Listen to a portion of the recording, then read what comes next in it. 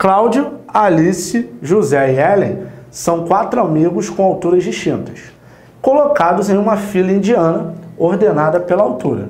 Só que ele não falou se começa, como é que começa, só falou que está ordenado pela altura. José está entre Cláudio e Alice. E Cláudio está entre Alice e Ellen. Sendo assim, é verdade que... Ai, meu Deus, galera, questão assim. Você vai escolher e vai começar. O primeiro, geralmente começa pela primeira informação. José está entre Cláudio e Alice. Então, se o Cláudio está aqui, Cláudio está aqui, correto? E a Alice está aqui, o José só pode estar onde? Entre eles.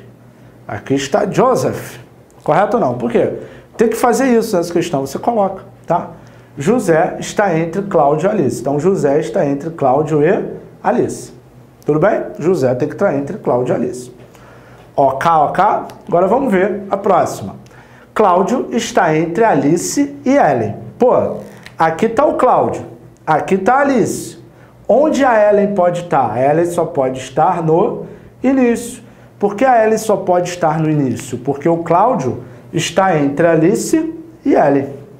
Se a Ellen estiver em qualquer outro lugar, o Cláudio não vai estar entre elas.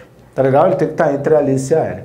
Show de bola? Tá aí, Ellen, Cláudio, José, Alice. Essa é a ordem. Mas nós não sabemos quem é maior ou menor, porque ele tinha que dar mais alguma informação, só falou que estava assim.